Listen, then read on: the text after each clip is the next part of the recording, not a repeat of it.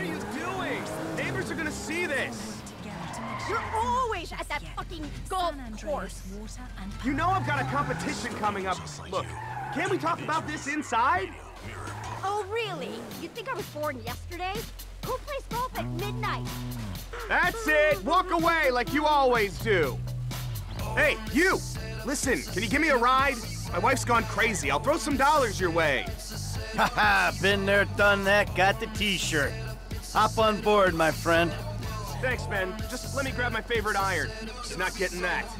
What a mess. A really great wardrobe out for all to see. Whatever. Can't deal with it right now.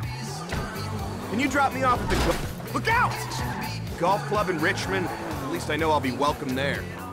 So, you're just gonna leave all your stuff in the driveway? Yeah, I'm not giving her the satisfaction of cleaning that up. I'll go to the club, get a few drinks in me, and hope either her meds have kicked in or the gin is worn off by the time I get back. I appreciate you doing this, by the way. I, I know it's kind of a weird one. What's your name? Michael, Good to meet you. I'm Castro. what is that? Italian? Spanish? Pure wasp, I'm afraid. My sister's called Muffy, so I think I got off lightly. So, what was that all about? Ah, just the usual psycho female stuff. She thinks I've got another woman on the side. And do you? That's not the point. She doesn't know that I have one. Okay, guy to guy now. I have a very strict code. Only on out-of-town trips, no real names, a dead trail. That's a gentleman's way, right? I don't know.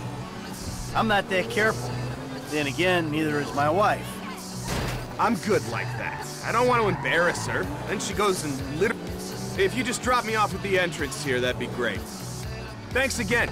Hey, we should play golf sometime. Come by the club. I'm here most days.